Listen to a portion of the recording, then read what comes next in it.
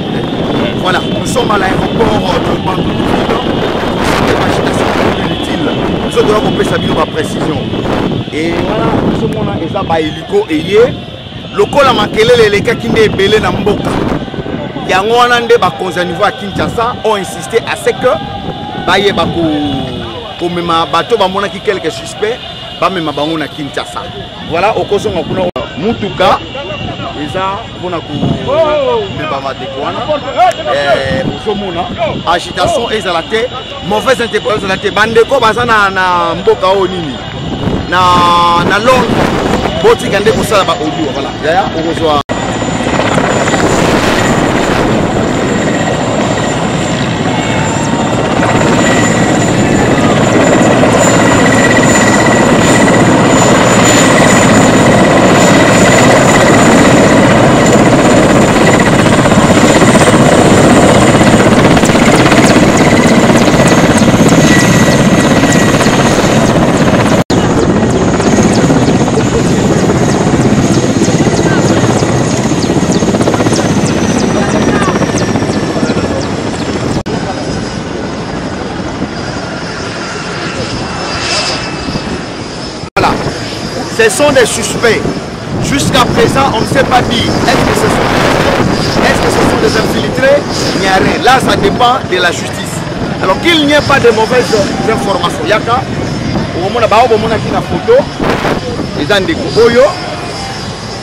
na ndeko mosusu voilà biso en tant que ba euh, journaliste okoki koloba te est ce que ce sont des rebelles est ce que non bazomema bango na kinshasa pourquoi parce que makelele eleki trop na réseaux sociaux bandeko baza na londres toyebi bino déjà boza na londres mosala na bino kaka kotyaka baaudio moko mpo toyebi objectif eza mbongo ya nzela ya bandundu euh, mongata ebimi moto ya komeka kosimba kolia mbongo ya nzela ya bandundu mpo na koluka na baconflit toute la population ya bandundu tokozala nsima na bino donc bana ya bandundu boza na londres bino bosala bodio faites beaucoup d'attention alors là bomoni bakozi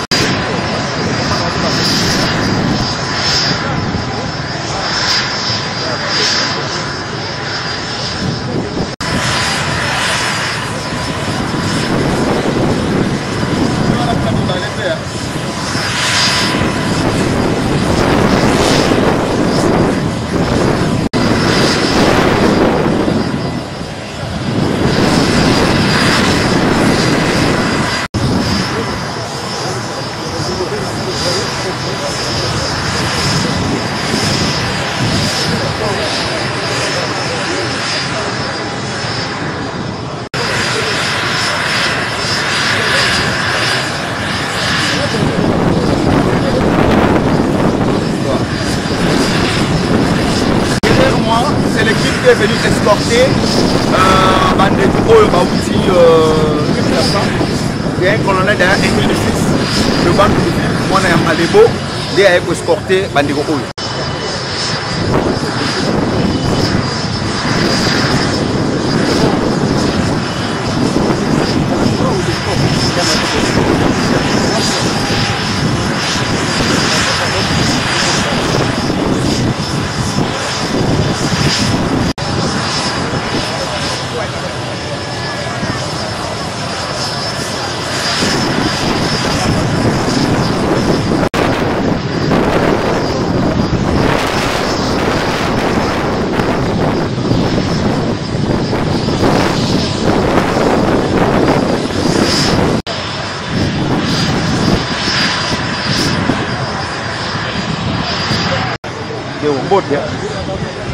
boni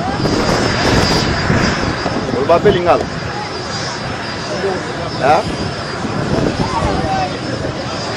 te ndeko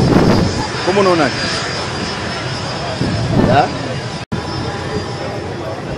ye tobabiki kongo hein? bon balingi koloba te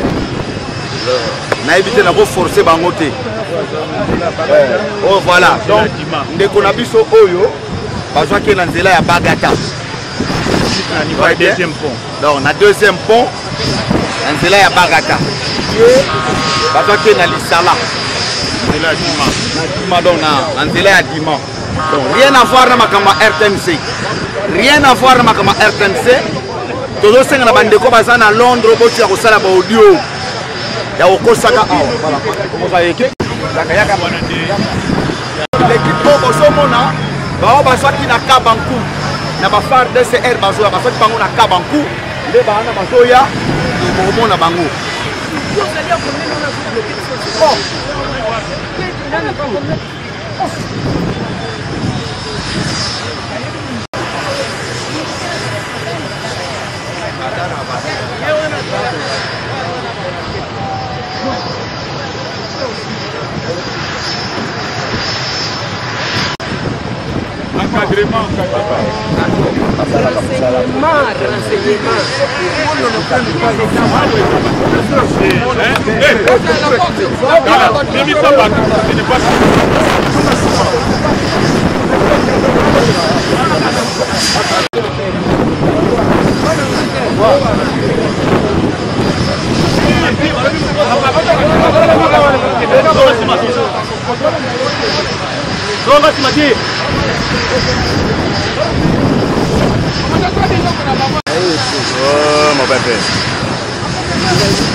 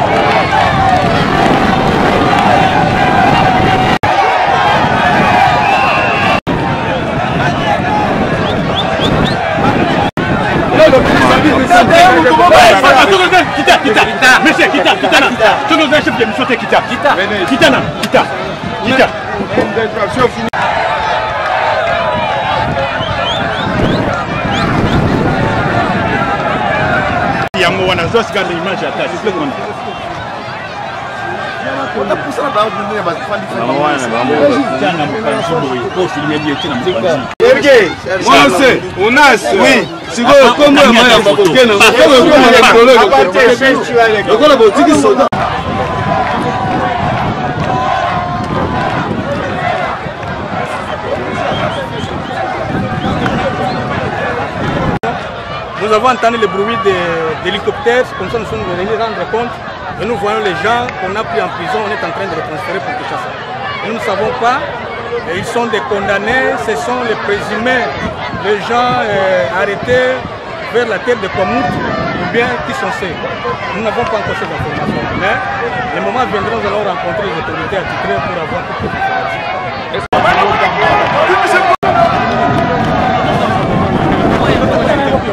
c'est le départ ya bandeko oyo tolingi toprécise bino bien tolobi te ke baza barebele baza basuspect suspect elingi koloba te ka aza rebele donc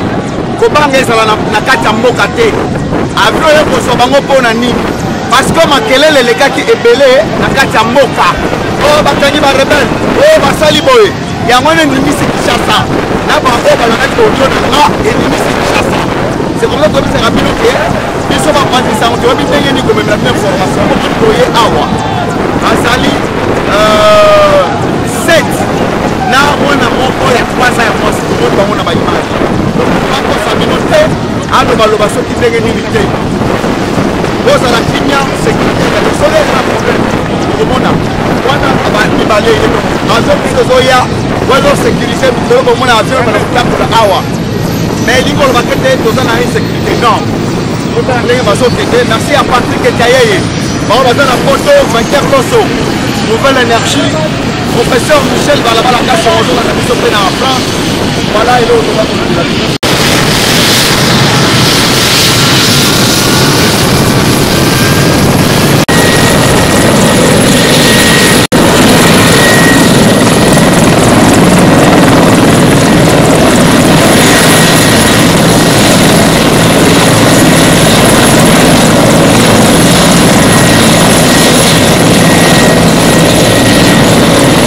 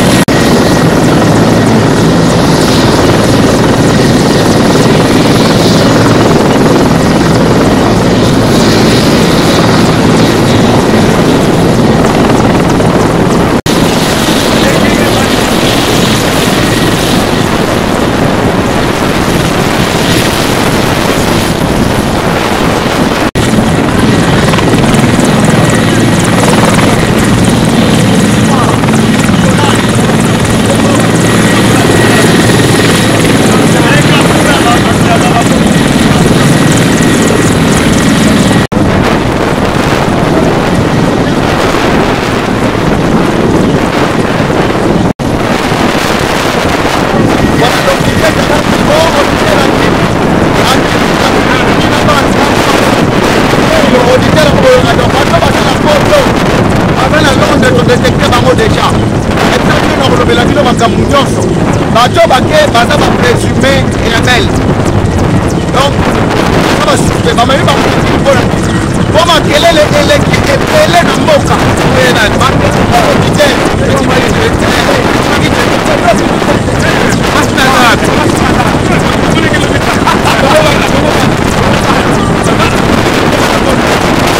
Thank you.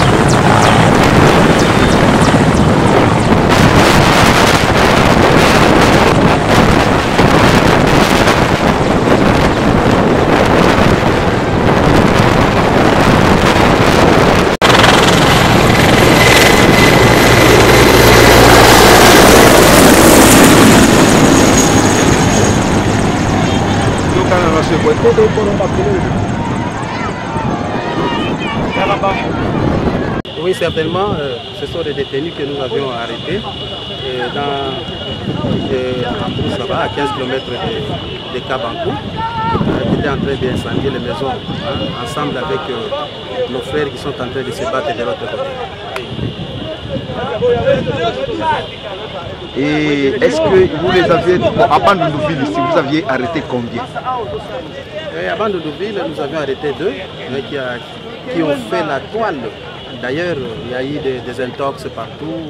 nous taxés de, ne rien faire. Mais jusqu'aujourd'hui, euh, vous êtes avec nous. Vous avez compris que les services de sécurité ont fait leur, travail en mettant la main sur les sujets euh, On nous a appris que derrière la RTNC Bandundu, vos services de sécurité, euh, auraient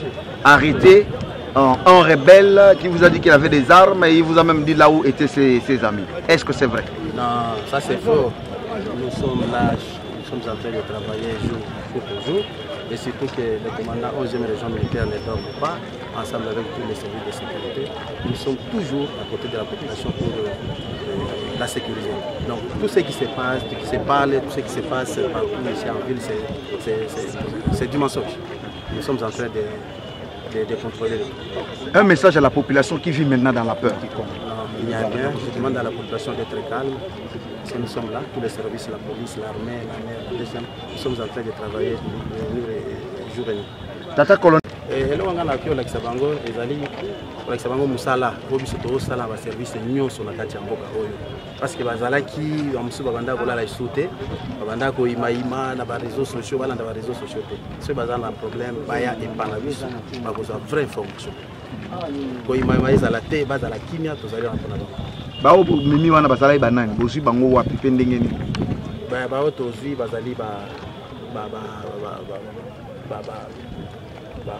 bacomplice ya baoyo bazotumba bandako kuna na ngambo kuna baza kopiye baza na territoire ya kwamutu Oui.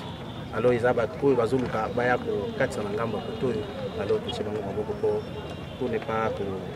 kointensifie baconflit wana koto oyo nini okoki koloba na population mpo mon colonel eh, population azala éveillé asunga mpe service na service ya sécurité esika nyonso bakomona euh, suspect baya kodenonce police ezali arme ezali amere deuxième baya kodenonce tokita mbango mpona mpona kotya merci